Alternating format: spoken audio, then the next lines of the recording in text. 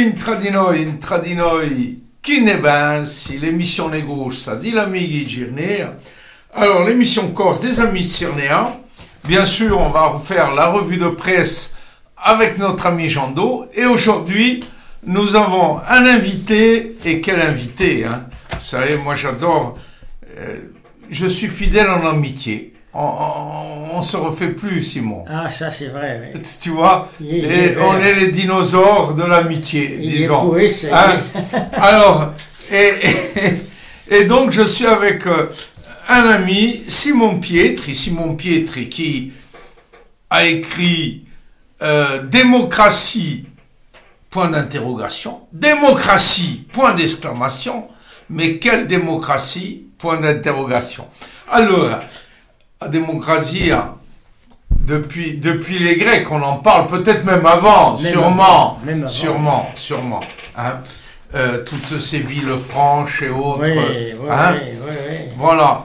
Allora, Mavele, prima Mavele appena eh, so che lui è passato, appena questa politica corsa.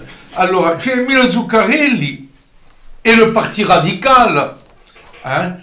Quant a me si bia sempre per, per eh, uno dei grandi responsabili. Il dit, quand même, je suis très inquiet euh, cette, euh, de, de voir que le dialogue entre la Corse et l'État, c'est pas encore, euh, encore ça, quoi. Hein? Mhm. voilà. J'ai oublié de vous dire, cher ami, qu'il y a exactement 100 ans, un certain monsieur Millerand, président de la République, euh, avait fait une réunion, on était donc en 1922, hein, et on recevait Egache e Chantina e perché i boi rigorsi entravano. Yi, yi, veniva Et a dans chaque village, eh ben, il y avait ce problème. Et le Millerand, il dit, ah, l'autonomie de la Corse, pourquoi ça serait pas une bonne idée? All'epoca, j'ai cent'anni, vedi? Ouais. Avant ne riparleremo cent'anni dopo. Alors, je ne sais pas ce que vous en pensez, qu'Emile Zuccarelli, bon, c'est logique en tant que politique qu'il mette son grain de sel, mais bon, il aurait dû le faire avant.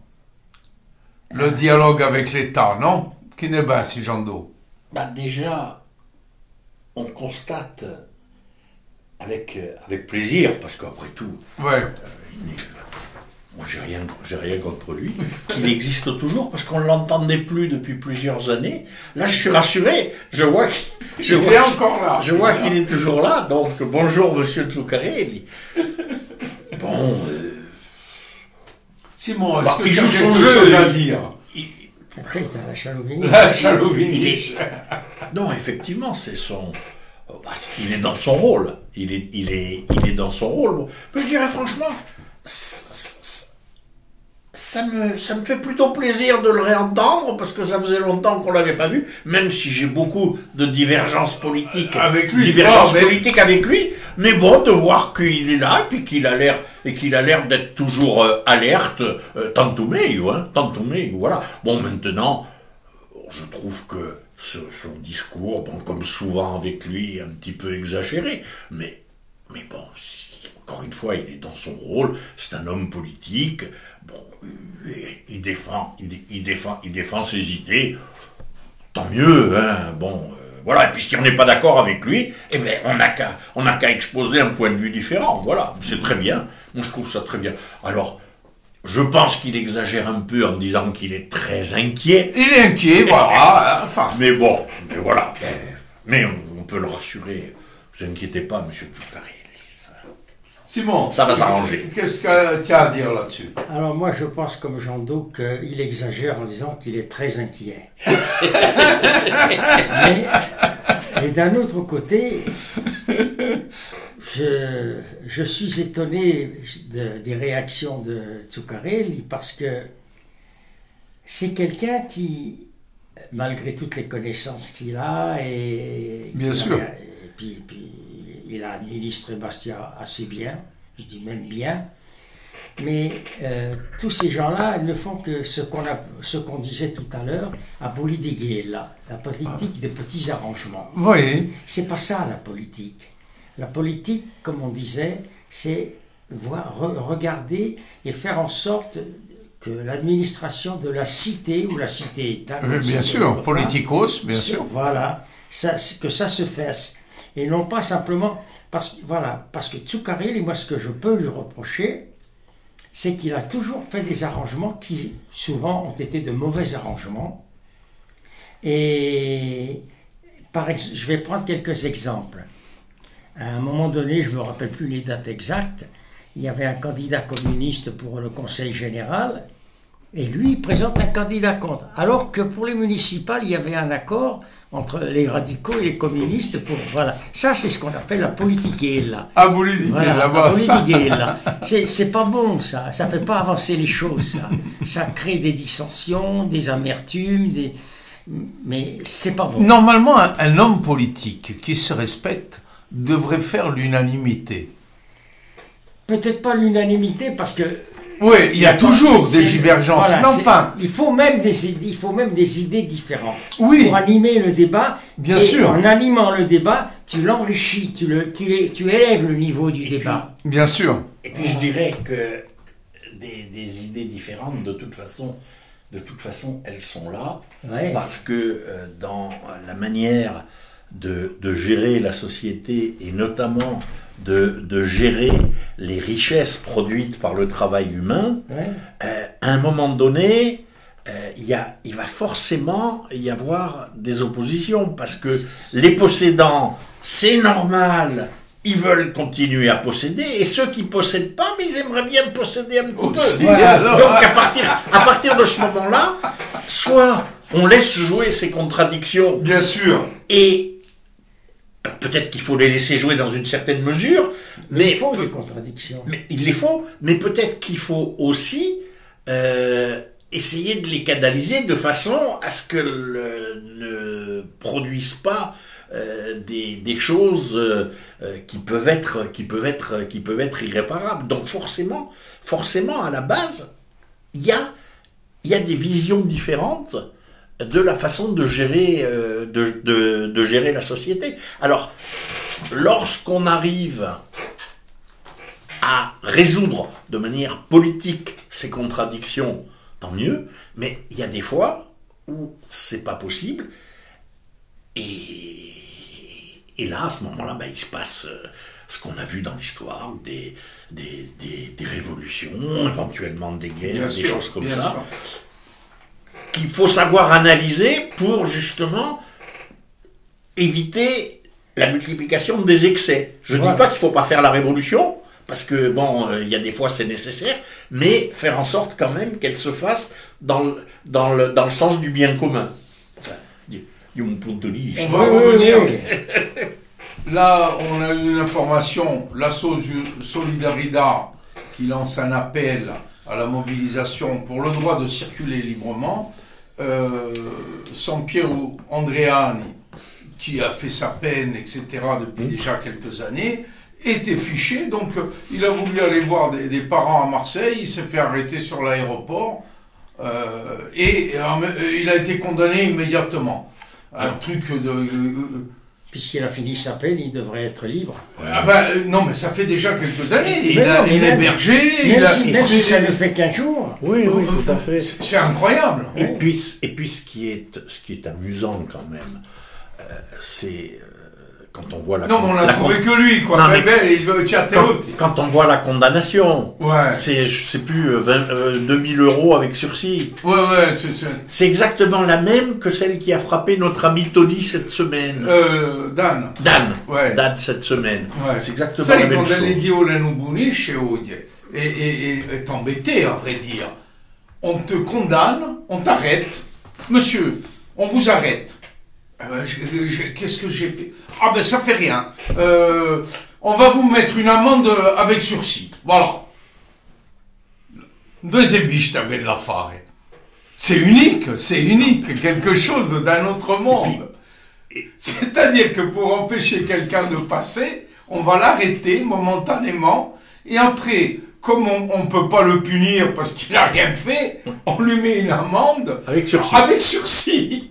Mais ça, c'est une atteinte à la démocratie. Exactement. Exactement. C'est quelque chose d'incroyable. Et je voudrais en profiter pour rebondir Ouais. justement sur l'affaire de, de, de Dan, de De Dan, Dan ouais. qui est passé en jugement en correctionnel cette semaine, qui a été condamné pareil à 2000 euros d'amende avec sursis pour un rassemblement qui avait eu lieu place de la Bastille, euh, place, de la République, deux jours après la mort du pauvre Ivan Colonne. Ouais. Euh, C'était un, ra- un rassemblement, mais alors, Ils étaient une dizaine de personnes. on était Ils 15. se donnent le rendez-vous. On était- place de la République. On était 15, on était 15 juste, À Paris À oui, Paris oui, à Paris. juste pour pour rendre un dernier hommage à, Ouais. à Ivan qui venait de qui venait de disparaître. À ce moment-là, La police arrive. la police arrive Mais alors, euh, vraiment, Un paquet. en paquet, en, en disant en disant vous n'avez pas le droit de vous. Vous de n'avez pas déposé vous n'avez pas déposé demande. de, de, de demande. Dan dit oui, mais pour un rassemblement statique, euh, il n'y en a pas besoin. En plus, euh, bon, moi j'y étais, donc je peux, je peux, je peux témoigner. euh, ça ne gênait absolument personne, c'est-à-dire ça ne gênait absolument pas la circulation des piétons, parce qu'on était dans une zone piétonne, sur la place, sur la place de la République. Et le pire, c'est que si encore les policiers avaient dit, bon, à partir de maintenant, vous partez tous, on embarque l'organisateur et vous, vous partez, au moins, ça aurait été logique. Au moins, ça aurait été logique. Tandis que là, ils ont embarqué l'organisateur et ils nous ont laissé. Ce qui fait que le rassemblement, il a continué. Sans Dan, mais il a continué. Ah oui, oui. Euh, y a de quoi faire un film comique. Ah oui, je, ça, pense, oui. je, Non, mais pense, là- je pense aux, aux cinéastes italiens des années 70, quand le cinéma italien était, Resplendissait. était, res- euh, était resplendissant. Là, il y a, il y, a, il y a de quoi faire un joli scénario. Ah ouais, ouais. c'est incroyable. Et donc, et cette affaire de. euh, de, Ouais. À propos de scénario, cher ami, rallonge de 30 millions d'euros pour amortir la flambée du prix de l'énergie pour la continuité territoriale. Pour le député Jean-Félix Aquahur, cette rallonge doit être un premier pas vers une véritable réindexation de l'enveloppe de la continuité territoriale sur l'inflation. 30 milioni d'euros, mais sono mica. E ma non capisco mica questi. Hein? Bah, C'est-à-dire que l'État il dit bon, comme l'énergie euh, augmente, Augmente, Bon, d'accord. on va vous donner 30 millions pour payer. euh, Oui, voilà. ouais. Et Mais- lui, il dit bon, vous commencez par 30 millions, mais ça suffit pas. Voilà. Hein? Je sais pas, moi, c'est ça. Ah, ah. Hein? Oui. ah ouais, le gouvernement, il semblerait qu'il ait fait un, un- un petit appel de pied au groupe, tu sais, à l'Assemblée, le groupe pilote, là, qui sont les, les, les je dirais, les régionalistes, quoi. Ouais. Euh, Tu vois, euh, ils sont quoi, une dizaine Hum. Hein Euh, et, donc le gouvernement leur aurait fait un petit appel de pied, Benedetto noi. Hein Alors, euh, a priori, euh, Paul-André Colomban, il dit euh, non, il n'est pas question qu'on aille avec le gouvernement. hein. C'est-à-dire que, effectivement, Voilà. effectivement euh, considère, Paul-André Colombani euh, considère que euh, c'est pas à l'ordre du jour euh, pour le moment, euh, dans la mesure où, jusqu'à présent, on ne peut pas dire que le gouvernement, lui considère que, on peut pas dire que le gouvernement ait fait preuve de, de beaucoup d'enthousiasme dans le cadre des discussions. Ah bah, non, Je dis discussion, je n'ose Oui, même oui. pas dire Alors, négociation. Je mal en train de Eh. discuter avec eux. Donc voilà, donc il dit que pour l'instant c'est hors de question. Voilà. Après, euh, la Juventus Pauline, Juventus Pauline qu'il faut regarder de près, c'est, c'est, c'est plein de jeunes Juventus Pauline, c'est une... euh, ils ont 30 ans d'existence, ce petit syndicat, euh, qui est majoritaire à, à l'université de Corté. Il a un particularisme, ils n'ont voulu jamais s'affilier à aucun mouvement politique. C'est quand même incroyable parce que on a tendance à aller voir nationaliste ou quoi, Ben, ils, Et se- eux ils se revendiquent du nationalisme, mais, Mais- ils mais- ne veulent pas mais eux ils se revendiquent comme un, un syndicat d'étudiants. d'étudiants et ils refusent tout alignement sur un parti politique fut-il nationaliste. Voilà. Euh, Alors, moi, là, je, qui refuse de s'aligner, d'accord. Mais, qui, mais il pourrait quand même faire en sorte qu'il y ait des ententes sur certaines actions. Généralement, il y a des ententes. Ah bon, bah Ah alors. oui. Ah oui, Ah ils le oui, font. oui, oui. Ah Ah oui, oui, oui, oui, oui, bien ils sont très ouverts là-dessus. Justement, ils veulent, ils simplement- disent, nous on défend les étudiants, Voilà. point. Et, voilà. Et simplement, ils disent, voilà, nous, notre, les décisions, elles sont prises au niveau de la direction de notre syndicat, on ne suit pas les consignes d'un parti politique. Maintenant, rien n'empêche, quand on est d'accord avec une revendication voilà, bah, d'un parti, politique, rien n'empêche bien évidemment de s'y De de associer. bien associer, voilà. C'est ce qu'il faut. C'est-à-dire qu'il n'y a pas de lien. Ils le- refusent le lien hiérarchique avec un parti Hein, politique. Comme ils ont 30 ans d'existence, ceux qui militaient quand ils avaient 18-20 ans, ne hanno 50 ans. Eh ouais, c'est- Et donc, ils et- sont dans des têtes, entre autres, à la direction de l'université. Il y en a. E Hein? ne conosco uno che faceva parte di Ouais. Paolina che, che è deputato oggi. Voilà, voilà. Non, mais pour te dire. Ouais, ouais, Après, ouais. ils ont pris des branches qu'ils avaient envie. Oui, bien sûr. Alors, euh, ah ouais, euh, je sais pas si tu as vu Coren Front, euh, qui, qui remue pas mal. Coren Front, euh, bah, ils se sont retrouvés euh, lors d'une conférence de cette société Promis, Promis, moi. hein, Promis, qui fait la promotion de l'immobilier en Corse. Euh, et ce Et- qui... et- Là, tu parlais, Simon, des capitalistes. Là, c'est vraiment le capitalisme. Hein, Et la spéculation. Et la et spéculation. la spéculation immobilière en Corse. Alors, à Zobenoudi, faire une réunion pour montrer euh, comment on pouvait spéculer en Corse. Et, et- et les gens de Corinfont ont parti, euh, sont venus pour Apporter la- troubler, Ben, ils Non, ont raison. non. Ils ont- apporter la contradiction. Ah, Voilà. apporter la Ils ont eu raison, contradiction. ils ont eu raison. Ils n'ont pas du tout, ils ont pas saboté le, ils sont venus poser des questions Voilà, ouais. euh, tout à fait euh, euh, Ouais. Légitime. Ouais, ouais, ouais. notamment sur la question de l'accession à la propriété, etc., Voilà, etc. voilà. Ce qui est à, à relier un peu avec la Bien revendication bien sûr. euh, Et qu'ils là, ont on toujours avait- porté sur le statut de résident. Et le- La publicité est faite par Sébastien Chabal, voilà. bah, qui est ancien euh, rugbyman, Alors, qui Sébastien, avait une cote. alors, Sébastien Chaval, euh, effectivement, grand rugbyman, parce que Ouais, c'est- ouais, un moi- grand rugbyman. Moi qui suis euh, amateur, amateur de rugby, euh, je, ça a vraiment été un très très un très très grand joueur. Euh, D'ailleurs un garçon, fait un, garçon un garçon qui avait l'air tout à fait tout à fait sympathique. Euh, je me demande ce qu'il vient faire dans cette ce qu'il vient faire dans cette galère. Bon, il se passe malheureusement ce qui se passe souvent avec les grands sportifs, c'est qu'ils sont récupérés par le monde des affaires. Voilà, voilà. Ah, ça c'est clair. Voilà. Alors Sébastien, Sébastien, s'il te plaît, en souvenir de tout le plaisir que tu nous as apporté comme joueur, retire-toi de ce foutoir. Très bien, Chando. J'espère qu'il nous entendra. Alors, Sébastien, allez, on ira boire un coup ensemble, à propos d'argent, et que ça Laura, c'est quelque chose d'extraordinaire. L'État propose 200 000 euros à la famille d'Ivan Colonne, sur la falle, en disant calmez-vous, adiouid, et bien vous devez 100 000 euros. Et en plus, ça n'a rien à voir avec euh, la situation, avec euh, le jugement. Oui, non, c'est... Non, mais tu vois un peu. C'est- C'est un peu pour les acheter, quoi. Exactement. C'est- grave. C'est... Moi, je dis que c'est grave. Et d'autant plus avec notre mentalité corse. C'est, c'est ce que j'appelle, c'est ce que j'appelle, moi, pour, je vais être très vulgaire, un chèque ferme ta gueule. Oui, mais, Oui, oui, mais ça. si on a notre- c'est ouais. ne pas connaître. Moi, je pense Ah, mais c'est une... que c'est pas méprisant. connaître notre, mais c'est méprisant. c'est méprisant. C'est méprisant. Ça veut dire que tout s'achète, y compris la vie d'un homme. Tu Voilà, sais, ouais, ouais, ouais. Ursu, Ah oui. Était capable de dire c'est bangumica.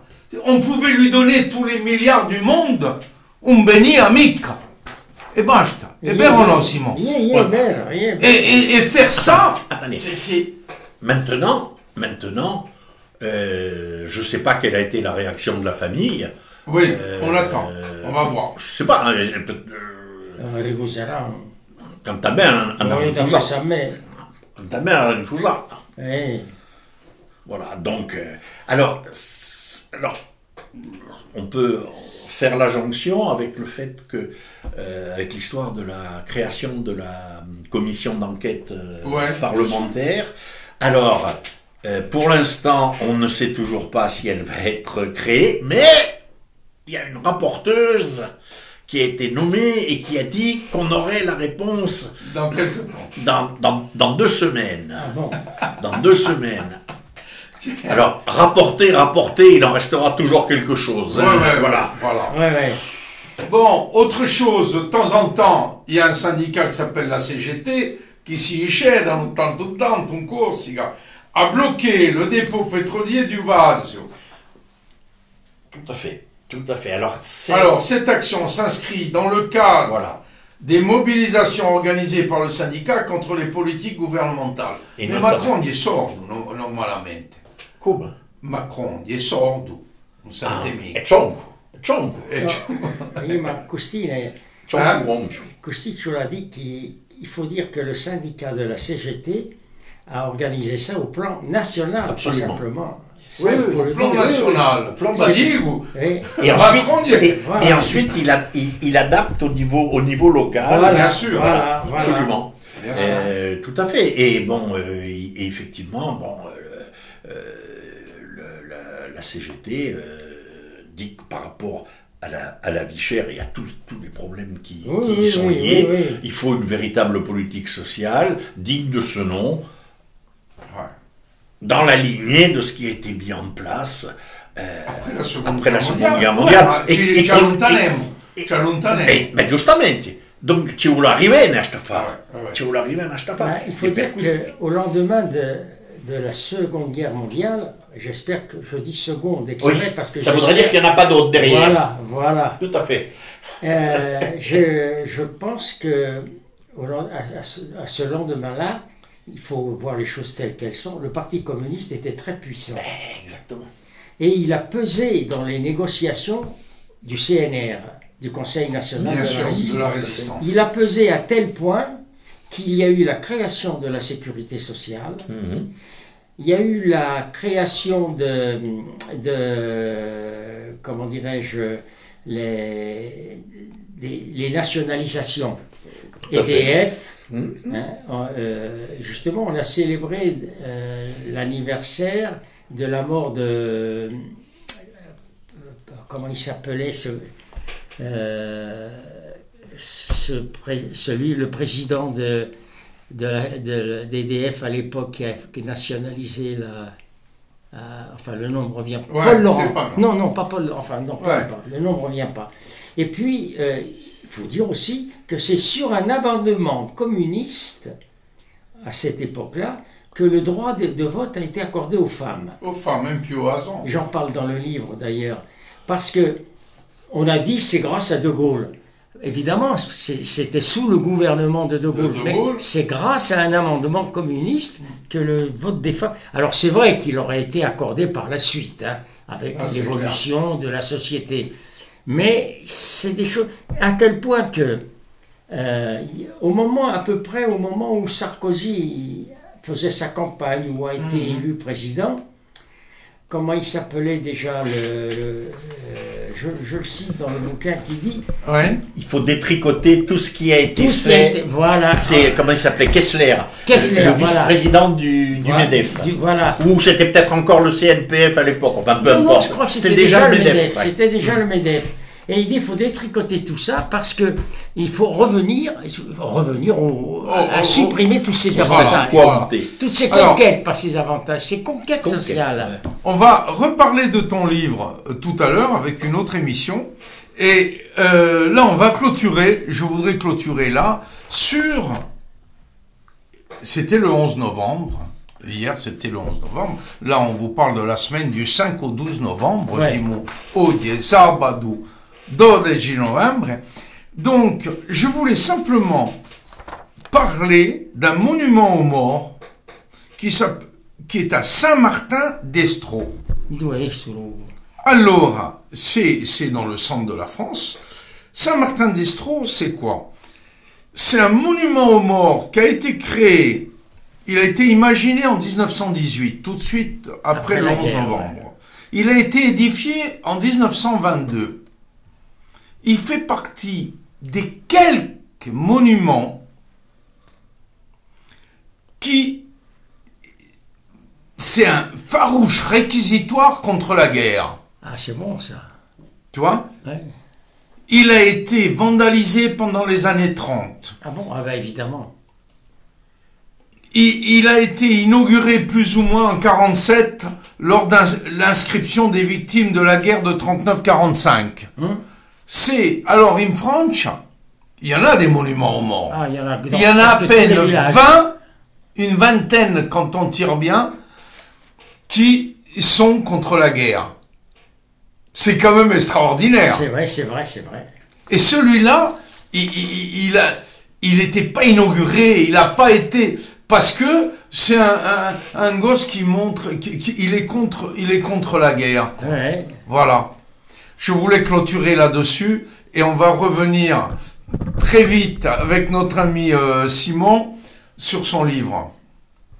A presto per un'altra emissione.